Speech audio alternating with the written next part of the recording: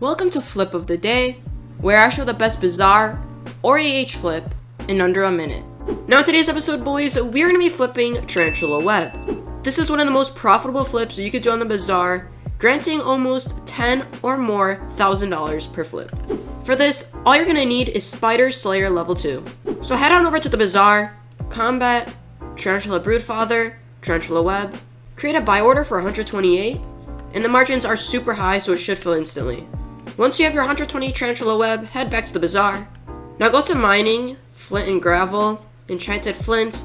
You could set up a buy order, the margins are quite high, but the fastest way to do this is to buy instantly. All you're gonna need is 32.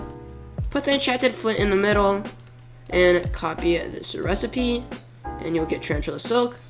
Head on back to the bazaar. If we were to insta sell this right now, we would make around 5 to 7,000 coins. But the best thing we could do is create a sell offer for 172,000 which is a nearly 15k profit. Thank you all so much for watching. If you did going to enjoy, please consider subscribing, smashing the like button, and if you want to see more of these type of videos, let me know down below.